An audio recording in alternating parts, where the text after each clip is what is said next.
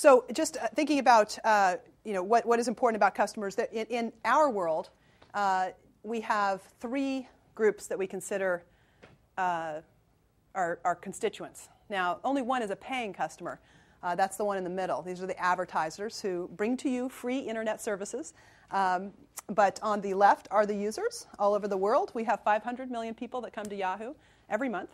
As if we were a country, we'd be the third largest country. 500 million is a lot of people uh, and uh, publishers and developers. So what a publisher is is Yahoo's a publisher. Uh, I just want to get the language straight, and then we'll we'll go from there. But um, a publisher is any company that has inventory. Inventory are web pages. You guys generate them, consumers all over the world, uh, but it's it's uh, inventory that we can sell to advertisers. And uh, hang on one sec. So so those are the three groups in what we call our ecosystem, and I'll come back to that. But uh, publishers, advertisers, and users. And then, of course, developers are third party developers that might develop apps on the site, very similar to what Facebook did recently, where they opened up and attracted third party apps to, to, to, to, innovate on top of their platforms.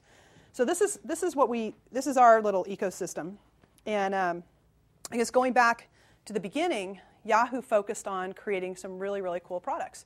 And everyone who worked at Yahoo when we were small was very engaged in all parts of that process. They were very close to the customers we tried to create something. David and Jerry started creating, helping people find what they're looking for, organizing the web at a time that the web was not organized. And uh, at the time, they were organizing porn sites, as you guys know at Stanford, but uh, it, wor- it, went into something much, much larger than that when they left.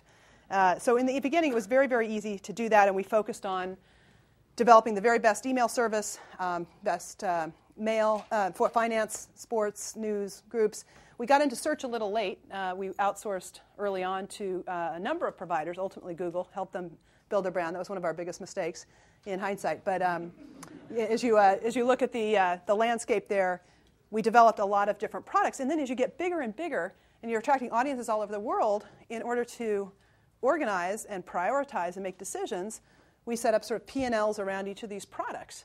Uh, and that uh, made a lot of sense, but as you get larger, it causes you to lose what's important to the user as a whole, who's looking at an integrated experience across many of them.